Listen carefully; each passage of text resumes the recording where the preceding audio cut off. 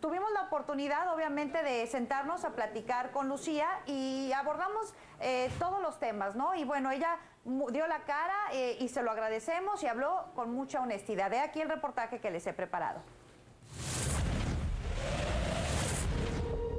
Así reaccionó Lucía Méndez ante el video que anda circulando donde ella habla mal de muchos colegas del medio. Lucía, ¿tú sabías que te estaban grabando en el salón de belleza? ¿Cómo voy a saber que, estoy, que me están grabando? En primer lugar estaba yo en un salón de belleza, que tú sabes que en el salón de belleza hablas, eres sarcástica, eres, manejas un humor negro, eres irónica, este, eres loca, dices tonterías. ¿Cómo fue que sucedió esto? Jugando con este tipo que me estaba peinando. Y yo a Ramón lo conozco hace 20 años. Yo no comprendo cómo una persona puede tener tan poca ética de grabarte y aparte venderlo. Que te pase esto realmente es peligrosísimo. Los picos de fama son terribles.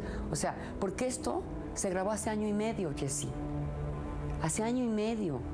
¿me entiendes? Y lo, sacan ahora cuando estoy con Noches de Cabaret.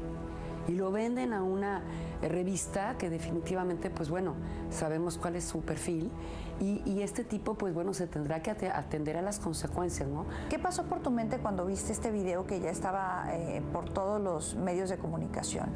Nada, no, en realidad eh, lo vi, lo vi, y cuando lo vi, me fijé y no lo vi totalmente, o sea, no lo quise ver totalmente. ¿La persona que te grabó, eh, tomaste el teléfono para llamarle o, qué fue, o qué me puedes decir al respecto? No la encuentran, o sea, eh, Ramón no la encuentra porque el tipo renunció. Después de que hizo esto, tiene como un año de haber renunciado. ¿Has tenido la oportunidad de hablar con Inel Conde, con Silvia Pinal o con Kalimba en torno a lo que salió del video que te grabaron? No, porque en realidad las cosas que dije fueron bobas, ¿no?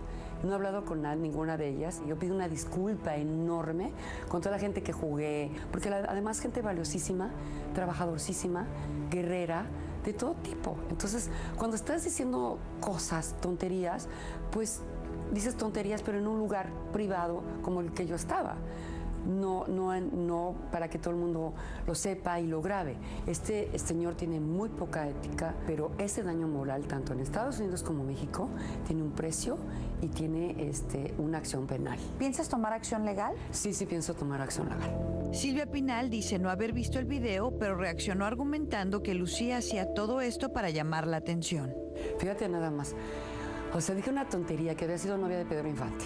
¿Entiendes? O sea, dije una tontería estúpida, porque aparte que ella trabajó con Pedro Infante y yo soy fan de Pedro Infante. Yo si me lo hubiera cuchiplanchado, madre, te lo digo sinceramente. Me hubiera encantado cuchiplancharme a Pedro Infante. Pero en realidad amo a Silvia Pinal y, le pido un perdón enorme porque la amo. Con respecto a los ataques a Ninel, esta fue su respuesta. Ninel es una guerrera impresionante. Ninel es una mujer que trabaja yo creo que como ninguna otra. Es guapísima. Entonces, pues sí, estaba yo un poco bromeando eh, con las pompas de Ninel, pero, pero pues no he sido yo ni la primera ni la última, ¿no?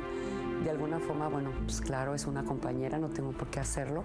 Pero te repito, era una cosa privada. Por último, Lucía quiso disculparse nuevamente frente a nuestras cámaras. Tengo errores y virtudes, como todo el mundo, que pido una disculpa enorme a todos mis compañeros, que fue una trampa, que fue un momento de humor negro, de ironía, de sarcasmo.